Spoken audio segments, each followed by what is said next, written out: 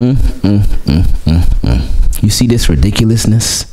And see, that's not even my words. That was a quote from my boy Victor, who had sent me this list that he found on BR Gridiron. And this list was called the five NFL teams most likely to disappoint in 2023.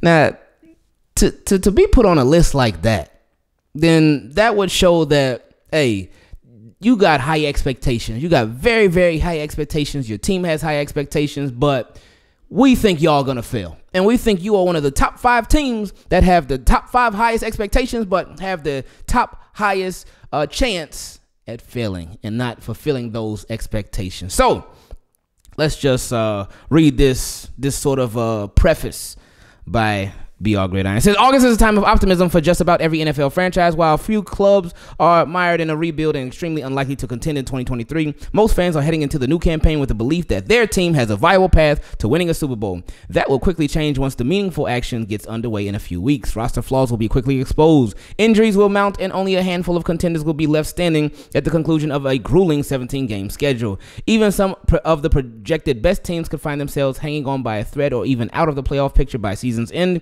It's difficult to remain a consistent force in this parity driven league, and the combined negative effects from aging rosters, salary cap constraints, and lower draft picks could cause these clubs to take a step back in 2023. So, here we go. With that in mind, here's a look at five teams predicted to finish over 500, courtesy of DraftKings. Uh, we don't care about that. That will come up short this season. All right, here we go. Uh, number one. Now I don't know if this was listed in any particular order, but the Baltimore Ravens were the first team listed in this article. Uh, and so we'll get straight into it. It says their 2023 win projection 10 and a half wins. Okay, so they could see the Ravens going 10 and 7 or 11 and 6. So anyway, it says the Baltimore Ravens may have celebrated this summer when they finally inked Lamar Jackson to a contract extension. Yes, but the good vibes could sour if the quarterback doesn't lead this team back into contention. Jackson has been unable to finish either of the last two campaigns because of injuries, resulting in his Ravens missing a playoff berth in 2021 and quickly getting eliminated in the wild card round last season. His health and production will be crucial for Baltimore to live up to his lofty win projection in 2023. That paragraph is true. It's true. There is no fighting that. There's no arguing that. Lamar Jackson has missed the end of both of the past two seasons, and that was concerning fluke injuries, yes, but it happened, yes. So this year, that's why I keep saying health is wealth. Health is wealth. Lamar Jackson stay healthy. All of them stay healthy, really, because there's a lot of injury concerns really around the Ravens with a lot of different positions, especially on offense. But health is wealth. If they can stay healthy, they got it. But it's important that they stay healthy. Now, a big part of that, again, they did get rid of their head strength and conditioning coach, Steve Saunders, and they moved in a different direction. Even though the person who's take, who took over was still part of his staff, but hopefully they they got a different vision. They got a different view on things. They they they, they handle things differently with the injury aspect. So we'll see. We'll see. And it's important that the Ravens make smart decisions too. I mean, you can't prevent every single thing, um, but they got it, hopefully. Anyway, uh, continuing, it said the Ravens front office did its best to provide Jackson with more weapons this year as well. They certainly have.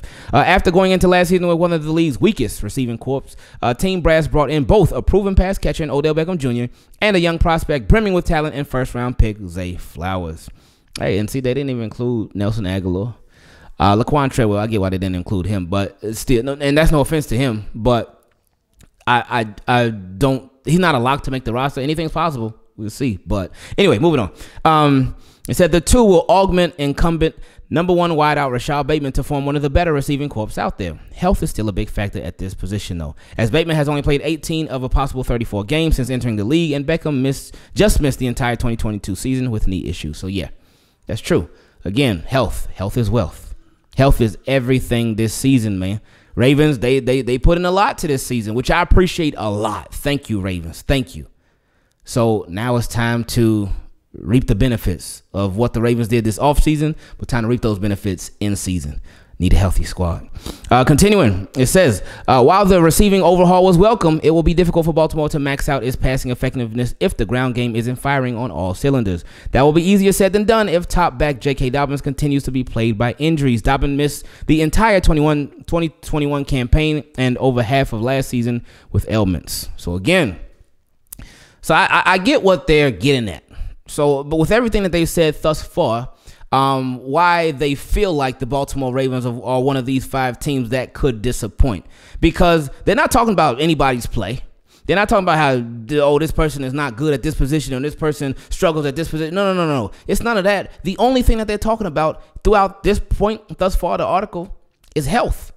It's health. They talked about the health of Lamar Jackson, the the health of Odell Beckham Jr., the, the health of Rashod Bateman, and now they're talking about the health of J.K. Dobbins. That's been it. We know all of them can ball, all of them can play, but health has been the only concern.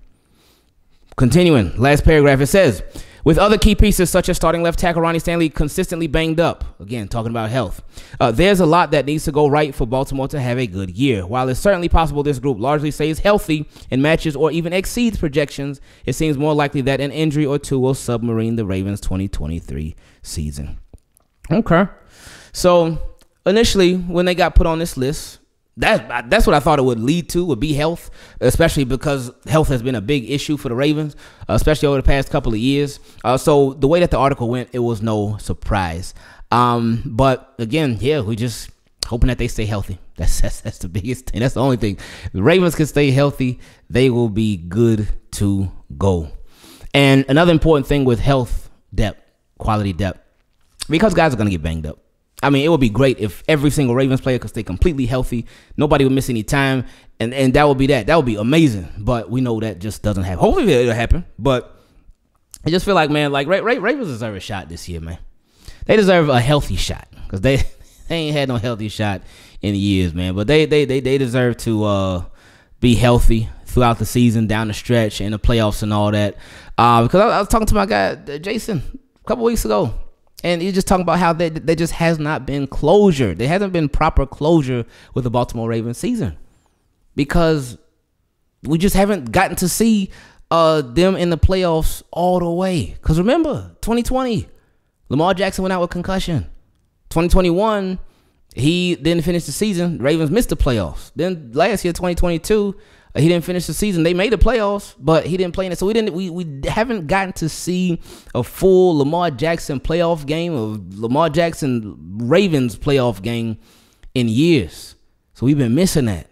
So and we know what they could do in a regular season. We know that already. We get that. We know these boys can show. We know they can play, and we've seen the Baltimore Ravens do their thing um, with lesser talent on offense.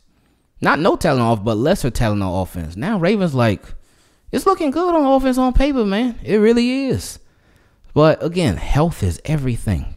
That is everything. That is the one thing that could be the major roadblock for the Baltimore Ravens. But hopefully, this is the year where they plow right through it.